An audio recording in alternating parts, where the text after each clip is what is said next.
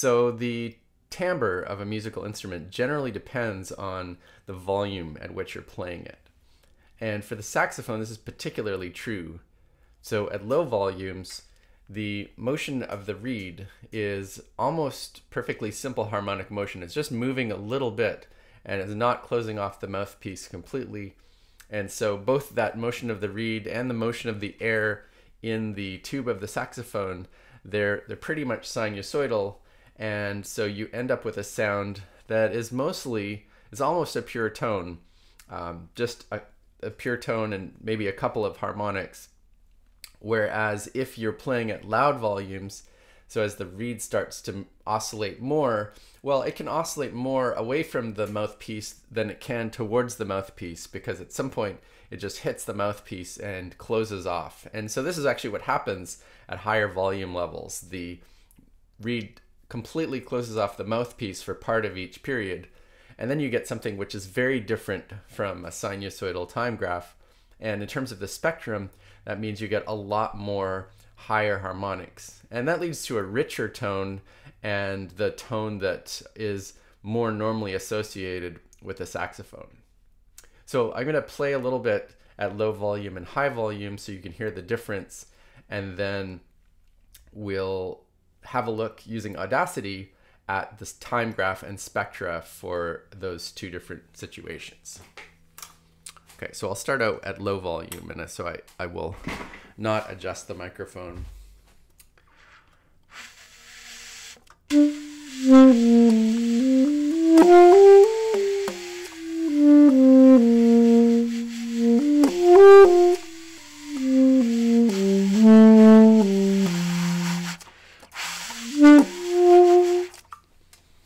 Okay, so now I'm going to go to high volume, so I'll turn down the microphone.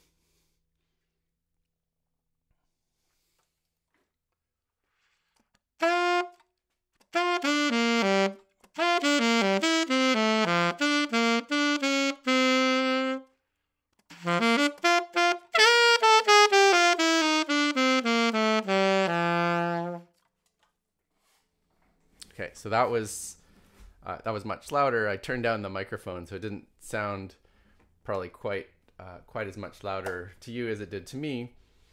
Um, so now what I want to do is uh, is see what the sound spectra look like for both of those cases.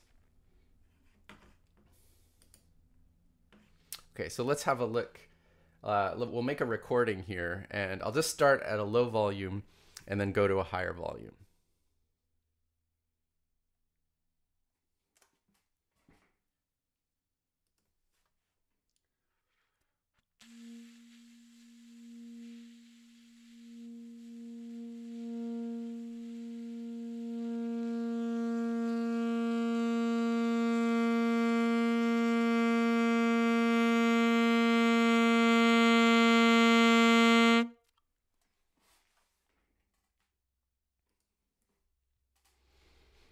All right.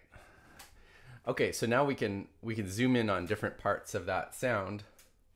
Uh, so let's start with this low volume region, and we'll just see what the time graph looks like.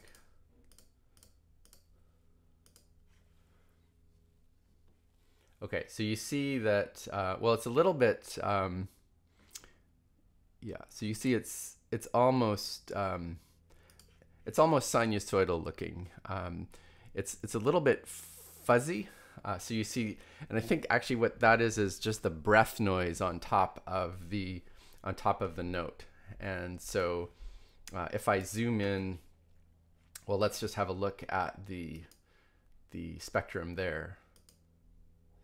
Um, right. Okay. So this is this is probably all breath noise, and so you see that in terms of the actual spectrum of the note, you you get uh, basically one big peak at the fundamental, and then the second harmonic uh, that's that's down. You know, this is this is um, down by 20 decibels, so that's hundred times less um, less intensity in this in the second harmonic, and and so it's almost completely a, a pure tone. Okay, and so now uh, let's let's just move along and we'll see what how this uh, time graph changes. Okay, we went down in volume again. and um, yeah, so there's that's an even cleaner pure tone.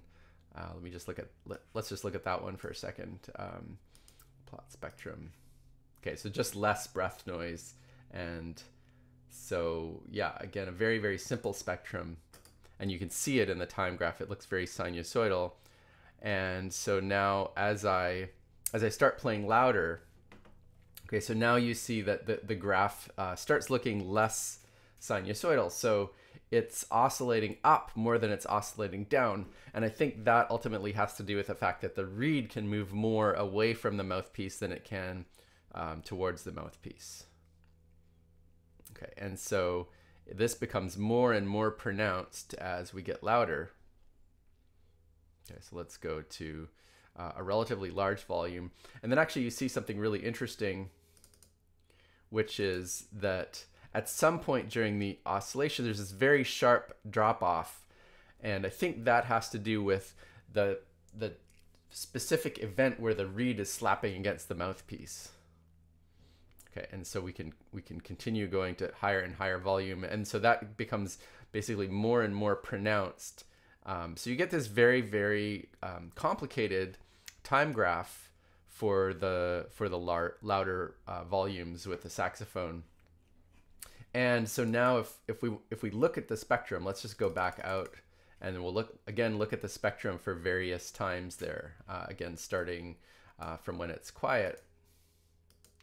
And so right, so there you see almost completely um, the the pure tone with some breath noise, and then you you go um, higher here, and what do I do? Replot spectrum. Okay, so you're getting a couple more harmonics showing up. Um, and that should look similar. So those are those are now growing, um, growing some more, and you're getting more coming in. And then as we get louder, then you start to see quite a few harmonics uh, coming coming in. And now they're getting more and more pronounced, and we get even higher harmonics. And let's go to that one um, even more. And let's go all the way to um, all the way to this sound here. Okay, and then now you're you're getting even um, these really high harmonics coming in, and so if you, yeah, if you have that sound like with a full volume saxophone, then it's a very rich spectrum of sounds, and really, I, yeah, I don't know how many harmonics, but you know 30 or 40 different harmonics are actually contributing to that sound